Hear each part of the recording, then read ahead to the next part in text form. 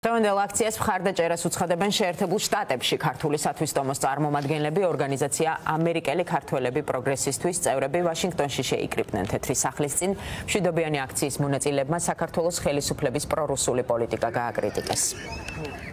ვართ შეკრებილები თეთრი სახლის წინ რათა პირველ რიგში დაუდასტუროთ ჩვენი თანადგომა ქართულ თანამებრძოლებს რომლებიც შეიკრიბებიან დღეს რუსთაველის გამზირზე ძალიან მნიშვნელოვანი ფაქტი დაფიქსირდა კვირის დასაწყისი, როდესაც ამერიკის მთავრობამ, სახელმწიფო დეპარტამენტმა დაგვიდასტურა ქართულ ხალხს გვერდში დგომა.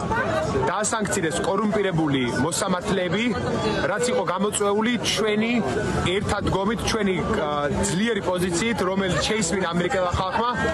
უნდა გავიხსენოთ და გავაცნობიეროთ, რომ რეჟიმი ირყევა, ამერიკა ჩვენ გვერდით არის, ევროპა ჩვენ გვერდით არის.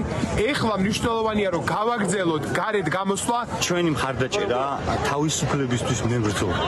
სულიად საქართველოს ყველა იმ ადამიანს რომელიც დღეს გასაჭირში მყოფ ქართულ საზოგადოებას ფარში უდგა მადლობა ამერიკის მთავრობას მადლობა თელ ევროპულ საზოგადოებას ყველა იმ პოლიტიკურ ინსტიტუტს ვინაიდან თქვენ ხედავთ ოლიგარქიული რეჟიმის კლანის წევრების დასანქცირება ზუსტად იმ შედეგს გამოიღებს რომელიც შედეგისთვისაც წლების განმავლობაში ჩვენ ქართული საზოგადოება ვითხოვთ დასავლური კურსის გაგრძელებას. ვაპროტესტებთ რუსული ხელისუფლების საქართველოსი არსებობას.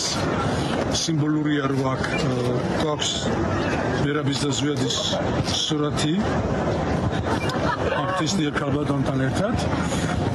და ტერეზასთან ერთად და ასევე აუცილებლად სიმბოლურია აი ეს სურათი რომ დასაქცირდეს ყველა ჩვენი უბედურების ყველა ჩვენი უბედურების წყარო არის ეს კაცი საქართველოსში და ეს უნდა დასაქცირდეს